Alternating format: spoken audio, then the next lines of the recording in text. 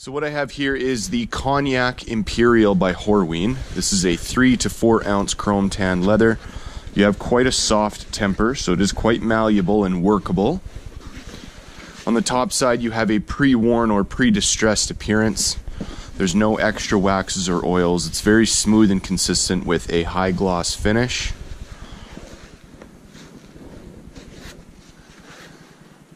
And on the flesh side, it is a natural color that has been pre-finished as well. So it's going to be very smooth, very consistent. Very nice leather overall, very unique. So if you have any questions, reach out anytime. And if not, I will see you in the next review.